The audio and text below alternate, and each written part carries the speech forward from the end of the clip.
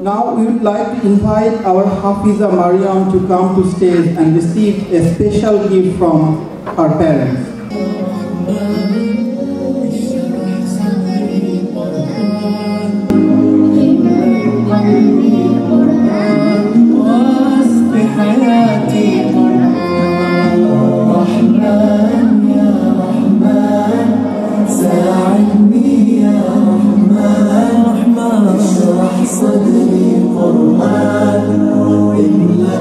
to be